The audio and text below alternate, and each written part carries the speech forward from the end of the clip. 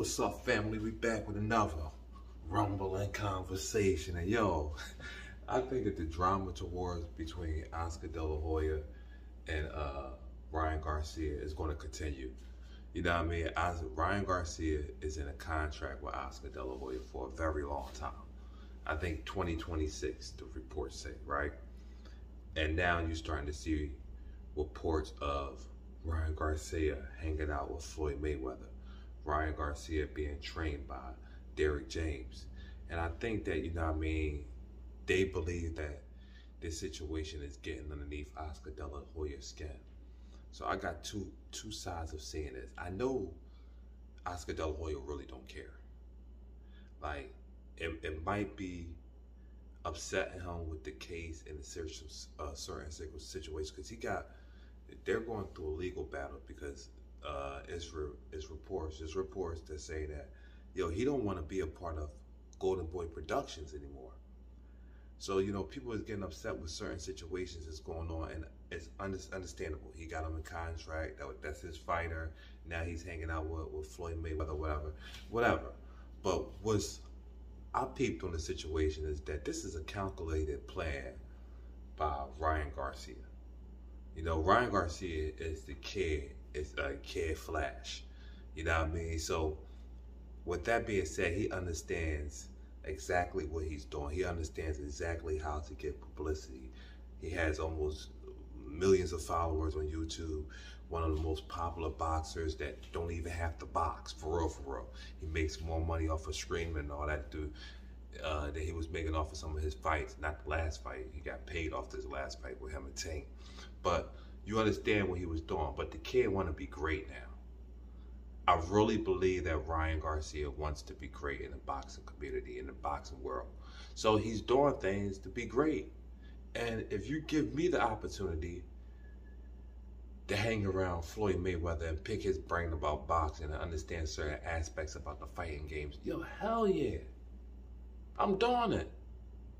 I'm doing it. You can't get you can't you can't shame me into doing that. Hey, I was around you and you didn't take me underneath your wing like you were supposed to. I think that I really believe that Ryan wanted more. You know, another thing is is that I don't want to take off this point. Ryan comes from though. Ryan comes from Floyd Mayweather boxing gym. Ryan comes from sparring out there. Ryan ain't no, ain't no. He comes from he ain't no pushover. So him coming from that is comfortable for him to go back to that.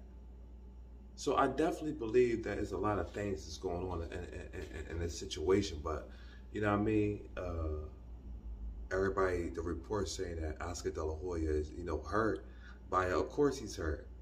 Of course he's hurt. He got that man under contract. Do I think that he cares about what he's actually doing with his life? No, because Oscar De La Hoya wasn't hanging out with Ryan anyway. So I don't think that Oscar De La Hoya really cares, but I think that Oscar De La Hoya, his his his, his uh, feelings is hurt, his ego is hurt, that his one of his fighters is hanging out with the guy that he hates so much. Yeah, I think that, that that's that, that's definitely an aspect of this situation. But yo, listen, that's all I got on this topic, man. Be back soon as when we hear a little bit more about this, man. It's interesting to see that these these legends is is is uh how this happens you know what I mean? Being a kid, watching Oscar De La Hoya, watching Floyd Mayweather, I never thought that they would be going at each other in a promotional.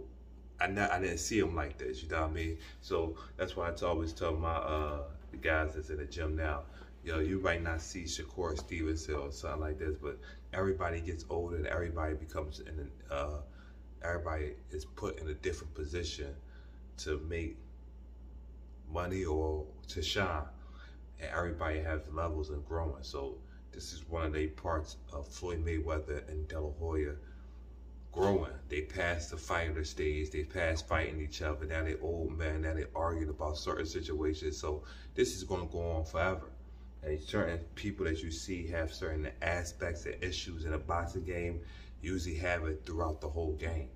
So that's why I tell a lot of the guys that's in the gym today, just pay attention to what goes on and understand exactly when it happened, what happened, and why did it happen. Because these these certain situations will linger forever and might affect history. You know what I mean? So, yo, man, like that, man, we out, man.